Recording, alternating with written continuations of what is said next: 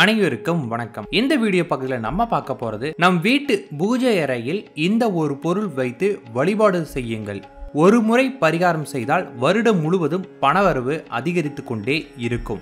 நம்மளோட வாழ்க்கையில் நமக்கு இருக்கக்கூடிய குணங்கள் அதிர்ஷ்டங்கள் எல்லாத்தையுமே பெறுகிறதுக்கு நம்ம நம்ம ராசிநாதன் தகுந்த மாதிரியும் ராசிக்கான குணங்கள் தகுந்தாற் போலவும் நம்ம வழிபாடு மேற்கொள்ளும் போது நம்ம வாழ்க்கையில் அதுவே மிகப்பெரிய அதிர்ஷ்டகரமான விஷயமா மாற ஆரம்பிக்கும். நம்ம வீட்டு பூஜை அறையில நம்ம பூஜை செய்யும் போது நம்மளோட ராசிக்கு தகுந்த சில பொருட்கள் இருக்கு. அந்த பொருட்களை வைத்து நம்ம பூஜை பண்ணும்போது நம்மளோட வாழ்க்கையில தேவையான எல்லாமே நமக்கு அதிர்ஷ்டகரமானதாக கிடைக்க ஆரம்பிக்கும். அந்த வகையில் உங்களோட ராசிக்கு நீங்க எந்த பொருளை வைத்து வழிபாடு பண்ணணும்? எப்படி வழிபாடு பண்ணுங்கிறத பற்றி நம்ம பார்க்கலாம். அதில் முதலாவது மேஷம். மேஷ ராசிக்காரங்க. மேஷ ராசிக்காரங்க வந்து பார்த்தீங்கன்னா எப்பொழுதுமே வந்து ஒரு அன்னபூர்ணி அம்சம் கொண்டவங்களாக இருப்பாங்க.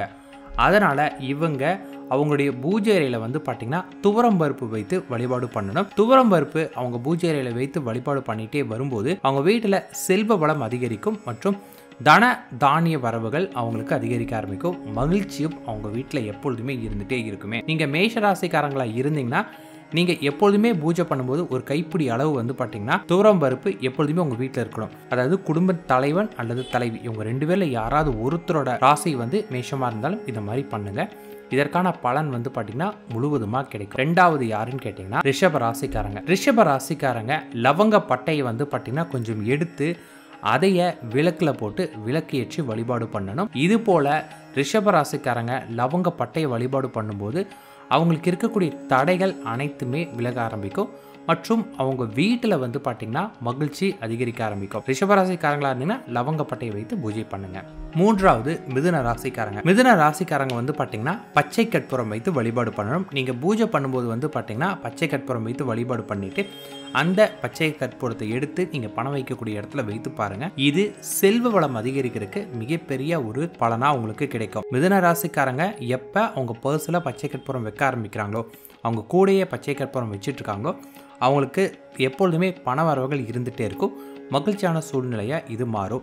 ஆரம்பத்தில் கொஞ்சம் அவங்களுக்கு கஷ்டம் மாதிரி தெரிஞ்சாலுமே பிறகு எல்லாமே அவங்களுக்கு சந்தோஷகரமானதாக மாற ஆரம்பிக்கும். அதனால மிதுன ராசிக்காரங்க பச்சை கற்பூரத்தை எப்பொழுதுமே கூட வச்சுட்டே இருங்க. இது அவங்களோட வாழ்க்கையில் நிறைய சந்தோஷங்கள் அவங்களுக்கு கொடுக்க ஆரம்பிக்கும்.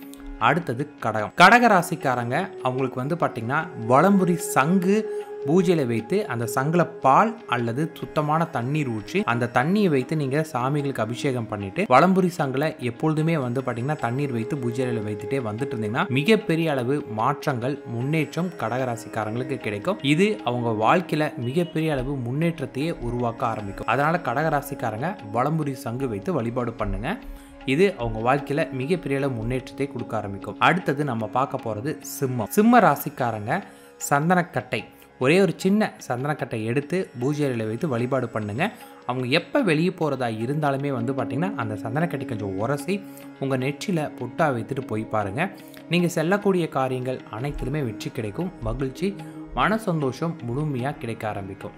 அடுத்து நம்ம பார்க்க போகிறது கன்னி. கன்னி ராசிக்காரங்க உங்கள் வீட்டு பூஜை அறையில் நீங்கள் பூஜை பண்ணும்போது பாயாசம் இல்லாட்டி பால் பாயாசம் பால் சம்மந்தமான பொருள் ஏதாவது ஒன்று வைத்து பூஜை பண்ணிகிட்டே வாங்க. இது போல் நீங்கள் பூஜை பண்ணிங்கன்னா மிகப்பெரிய அளவு முன்னேற்றம் உங்கள் வாழ்க்கையிலே கிடைக்க ஆரம்பிக்கும். வீட்டிலையும் மகிழ்ச்சி சுபிக்ஷம் கிடைக்கும். கன்னிராசிக்காரங்களை பொறுத்தளவுக்கு வந்து பார்த்தீங்கன்னா பால் அவங்க தானமாக கொடுத்தால் அதை கோயிலுக்கு வந்து பார்த்திங்கன்னா அபிஷேகத்தை பால் கொடுத்தாங்கன்னா இவரோட வாழ்க்கையில் முன்னேற்றங்களும் அதே அளவுக்கு பெருக ஆரம்பிக்கும். அடுத்து நம்ம பார்க்க போகிறது துலாம். துலாம் ராசிக்காரங்க எப்பொழுதுமே சாமிக்கு விளக்கேற்றும் போது அந்த விளக்கில் வந்து பார்த்திங்கன்னா ஒரு கைப்பிடி அளவு டைமண்ட் கல்கண்டு எடுத்து போட்டு அந்த விளக்கை ஏற்றி பாருங்கள் இது இவங்க வாழ்க்கையில் மிகப்பெரிய அளவு முன்னேற்றத்தை கொடுக்க ஆரம்பிக்கும். அதே போல் கல்கண்டி இவங்க கோவிலுக்கும் கொடுக்கலாம். இப்படி கொடுத்துட்டு வந்தாலுமே துலாம் ராசிக்காரங்க வாழ்க்கையில் மிகப்பெரிய அளவு முன்னேற்றமே கிடைக்கும். துலாம் ராசிக்காரங்க செய்யக்கூடிய மிகப்பெரிய பரிகாரம்னு எதிர் கேட்டிங்கன்னா இந்த கற்கண்டு பரிகாரம் தான் இதை தொடர்ந்து பண்ண சொல்லுங்க. அடுத்தது விருச்சக ராசிக்காரங்க. விருச்சக ராசிக்காரங்க சிகப்பு குங்குமம் எப்பொழுதுமே வந்து பார்த்தீங்கன்னா வழிபாடுல வைத்து இருக்கணும் அவங்க சாமி கும்பிடுறாங்க அப்படின்னா ஒரு சின்ன கிண்ணத்திலேயோ இல்லை தாம்பழ தட்டிலையோ சிகப்பு குங்குமம் கண்டிப்பா இருக்கணும். அப்படி இருந்துட்டா அவங்க வாழ்க்கையில மிகப்பெரிய முன்னேற்றமே கிடைக்கும். அடுத்தது தனுசு ராசிக்காரங்க. தனுசு ராசிக்காரங்க விராலி மஞ்சள் வந்து பார்த்தீங்கன்னா பூஜையில வைத்து பூஜை பண்ணணும். அதே போல மஞ்சள்ல பிள்ளையார பிடித்து வைத்து அந்த பிள்ளையாரையும் வழிபாடு பண்ணணும். அதே போல் கோவிலுக்கு வந்து பார்த்தீங்கன்னா மஞ்சளை இவங்க தானமாக கொடுக்கணும். இப்படி கொடுத்தாங்கன்னா இவங்களோட நிதி நிலைமை இவங்களுக்கு இருக்கிற தடை எல்லாமே விலக ஆரம்பித்து வாழ்க்கையில் முன்னேற்றமே கிடைக்க ஆரம்பிக்கும். தனுசு ராசிக்காரங்களுக்கு மஞ்சள் துண்டு விராலி மஞ்சள் தான் இவங்க வாழ்க்கையில் முன்னேற்றத்துக்கு மிக முக்கிய காரணியாக அமைய ஆரம்பிக்கும். அடுத்து நம்ம பார்க்க போகிறது மகரம். மகர ராசிக்காரங்க கருங்காலி கட்டை இல்லாட்டி கருங்காலி பட்டை இல்லாட்டி கருங்காலி மணி இது ஏதாவது ஒன்று கண்டிப்பாக அவங்க பூஜையில் வைத்து பூஜை வழிபாடு பண்ணணும். இப்படி அவங்க பூஜை அறையில் இந்த கருங்காலி பட்டையெல்லாம் வச்சுருந்தாங்க.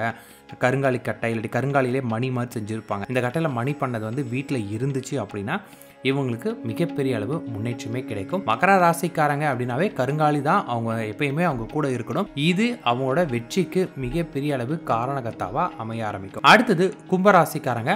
கும்பராசிக்காரங்ககிட்டையுமே எப்பொழுதுமே இருக்க வேண்டிய ஒரு பொருள் எதுன்னு கேட்டிங்கன்னா அது கருங்காலிக்கட்டை தான். கும்பராசிக்காரங்களும் கருங்காலிக்கட்டை கூடவே வச்சுக்கலாம். கருங்காலிக்கட்டை வந்து பார்த்தீங்கன்னா மஞ்சள் குங்குமம் வைத்து வழிபாடு பண்ணிட்டு வரணும். இது மாதிரி வைக்கும்போது அவங்க வாழ்க்கையில் மிகப்பெரிய அளவு முன்னேற்றமே கிடைக்கும். கடைசியாக நம்ம பார்க்க போகிறது மீன ராசிக்காரங்க. மீன ராசிக்காரங்க கண்டிப்பாக அவங்க வீட்டில் பூஜை பண்ணும்போது அவங்க வைக்க வேண்டியது எதுனா விராலி மஞ்சள் கட்டி. விராலி மஞ்சள் கட்டி அவங்க வீட்டில் எப்பொழுதுமே அவங்களுக்கு இருக்கணும். இது அவங்களுக்கு மிகப்பெரிய அளவு நன்மை பண்ணும்.